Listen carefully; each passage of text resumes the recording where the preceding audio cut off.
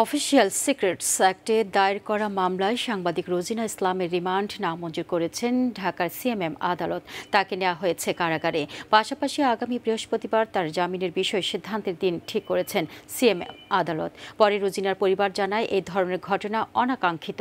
আদালতের মাধ্যমে এর প্রতিকার মিলবে বলে প্রত্যাশা তাদের। আরও জানাচ্ছেন ড্যানি রং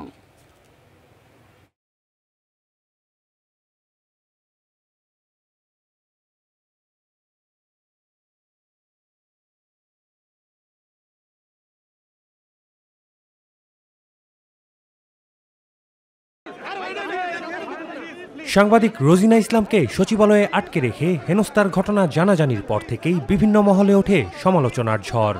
দীর্ঘ পাঁচ ঘণ্টা পর সরকারি নথি চুরির অভিযোগে তার বিরুদ্ধে মামলা দায়ের করে শাহবাগ থানায় হস্তান্তর করে স্বাস্থ্য মন্ত্রণালয়ের কর্মকর্তারা।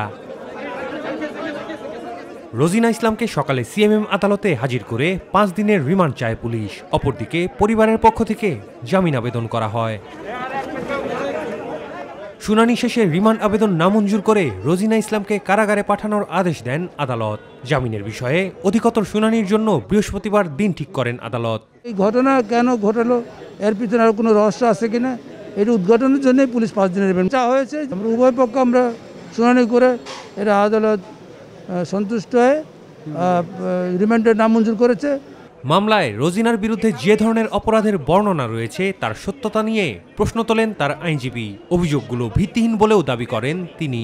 ভিত্তিহীন এবং উদ্দেশ্য কেননা, এই মামলার এজাহারের মধ্যে যে ডকুমেন্টসের কথা বলা হচ্ছে, সেই ডকুমেন্টসের কোনো বর্ণনা এই এজাহারের মধ্যে নেই। যে জব্দ তালিকা বিজ্ঞ আদালতে হাজির করা হয়েছে, সেই জব্দ তালিকা দৃষ্টে দেখা যায়, এই ডকুমেন্টসগুলো কথিত মতে আসামির দখল থেকে নয় বরং একজন সরকারি কর্মকর্তা তিনি নিজেই উপস্থাপন করেছেন। রোজিনার সাথে যা ঘটেছে তা কখনোই কাম্য ছিল না বলে উল্লেখ করেন তার পরিবার ও পত্রিকা কর্তৃপক্ষ। আদালতের মাধ্যমে এর প্রতিকার মিলবে বলেও প্রত্যাশা সবার। জামিন শুনানি তো হয়নি আমি বারবারই বলতে জামিন শুনানির পরে। জামিন শুনে আজকে হলে আজকে আমি সিদ্ধান্ত নিতাম।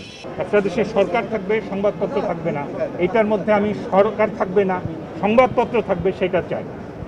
আমরা হচ্ছে ফোর্থ স্টেট সংবাদপত্র। আমরা সরকারের সহযোগী। আমরা আমাদের প্রশাসনের সহযোগী।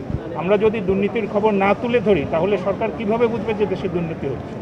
কাজেই আমরা সরকারের উপকার করার চেষ্টা করছি এবং রোজিনা ইসলাম তার পেশাগত দায়িত্ব পালন করতে যাচ্ছেন পরে আদালত প্রাঙ্গণ থেকে রোজিনা ইসলামকে কারাগারে নিয়ে যাওয়া হয়।